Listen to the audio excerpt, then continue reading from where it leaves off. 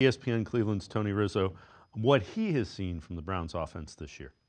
This offense, I don't know what it is. I don't know what it was brought here to do. It didn't help Deshaun Watson, certainly not helping anyone else right now. Goodbye. Ken, I'm sure you can get a gig somewhere. This isn't a personal attack, not attacking the man at all. I wish him the very best. I'm talking about decisions for my football team. I have seen enough of Ken Dorsey. Aaron. What is their identity? No what is idea. it that they are trying to do? Penalty. Tim, that's uh, that's an interesting thing. The, their identity is penalties. Uh, turnovers would be another one. Um, again, I I, I agree, uh, and I'm a guy that said you need to build an offense around Deshaun Watson. That did not work. You, you need to go back and, and tear it down and try to recreate uh, what you can with Kevin Dor- uh, with uh, Kevin Stefanski instead of Ken Dorsey, kind of as the offensive mind.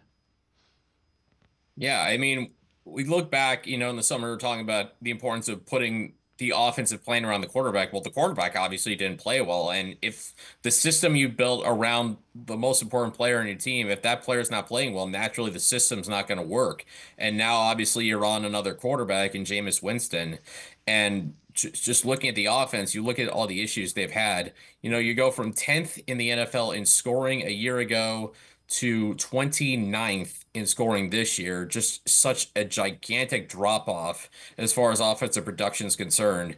And I think if you're the Browns, if you're going to change this offensive staff, what I think should be the one thing you do, get an if you decide to move on from Ken Dorsey, you need to get another offensive coordinator who's much more aligned with Kevin Stefanski, who's can do some of the same things that Stefanski has done the last handful of seasons as a head coach, because those things by and large worked.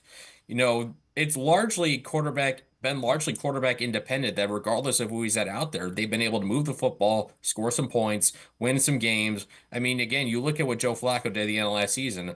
Obviously, I think that that, that was where the eye test did not match the analytic under the underlying analytic numbers that really kind of blew up in the Browns' face in the playoffs. But we're seeing kind of Jameis Winston kind of be similar, where we're seeing the similar things as far as it looks good, but then you all see the same mistakes, and that kind of rests on the same things as well. But if you're the Browns, I think you really got to figure out how to get back to that offensive philosophy of 2023 and not really frame it around who's going to be starting at quarterback next season.